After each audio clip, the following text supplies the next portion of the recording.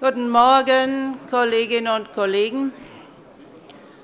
Ich eröffne die 64. Plenarsitzung, stelle die Beschlussfähigkeit fest.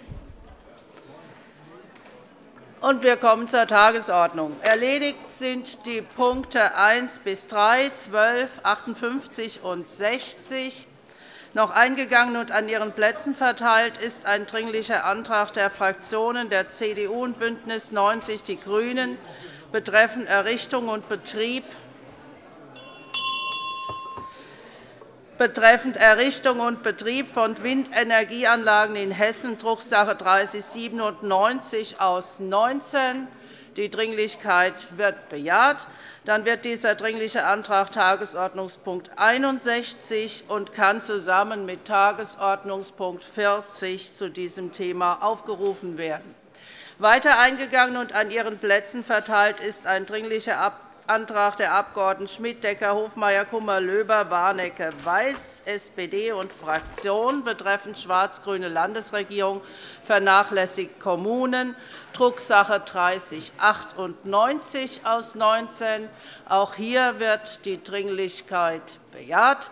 Dann wird dieser Dringliche Antrag Tagesordnungspunkt 62 und zusammen aufgerufen mit den Tagesordnungspunkten 45 und 37.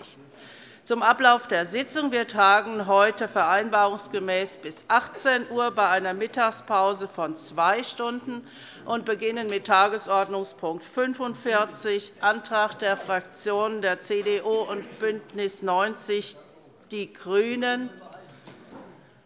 Herr Staatsminister, darf ich bitte um etwas Ruhe bitten.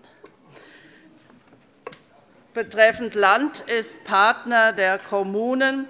Nachhaltige Landespolitik hilft Kommunen, ihre Haushalte zu konsolidieren und sich weitere Handlungsoptionen zu erschließen, Drucksache 3074 aus 19.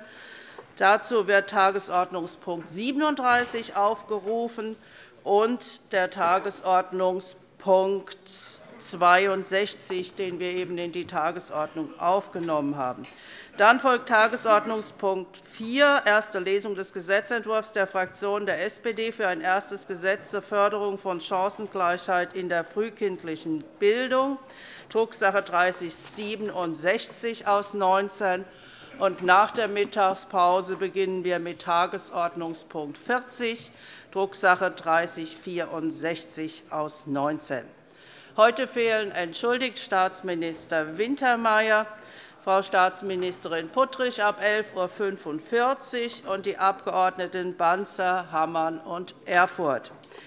Heute Abend im Anschluss an die Plenarsitzung kommt der Innenausschuss zusammen in Sitzungsraum 501a. Damit, Kolleginnen und Kollegen, können wir in die Tagesordnung einsteigen.